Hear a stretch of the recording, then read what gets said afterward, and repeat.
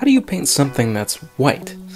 No, I'm not talking about Ken. I'm talking about Ken's hair. How do you paint something that doesn't have a distinct color?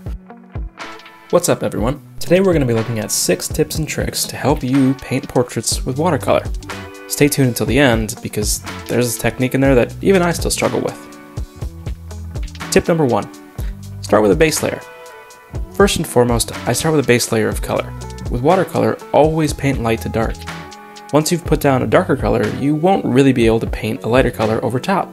You'll just end up making a brown splotch of paint. In this case, I paint a base layer of cerulean blue over the areas where there will be a shadow, followed by a skin tone mixture that I blend together. I leave a couple areas unpainted where I think there's going to be highlights, like the cheekbone or the tip of the nose. Tip number two eyes are not always white. Even though you think of eyes as being white, they're often shadowed, so it's okay to paint over the areas where the eyes are as well, especially when you're painting a smaller portrait without as much detail. If you leave the eyes white, you might end up with weird highlights that don't look supernatural.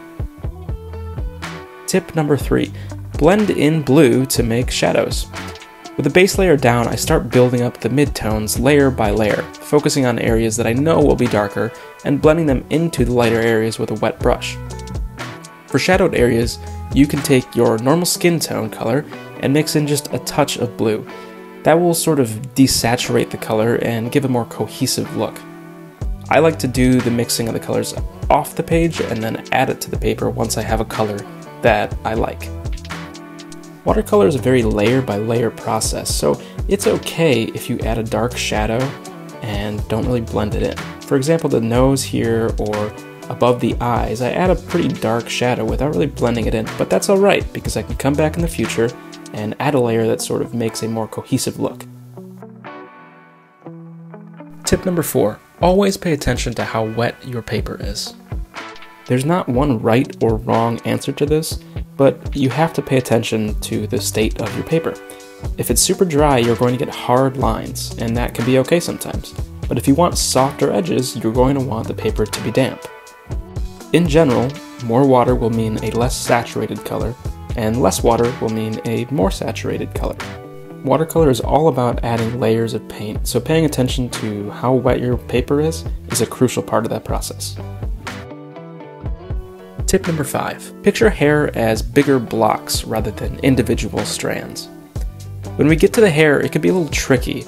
Ken's hair is such a light blonde color that it can be hard to paint a color that matches.